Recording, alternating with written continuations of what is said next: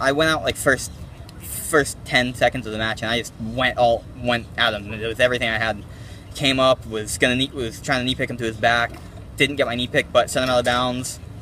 Got restarted, then came back in with a nice shot. Took him down. Went to second period, came in.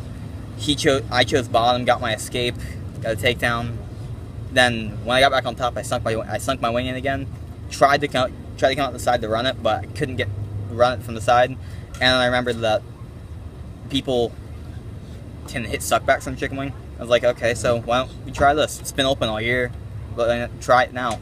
Pulled him back with my, with my wing, came back over the opposite side, and scooped the head and got my pin.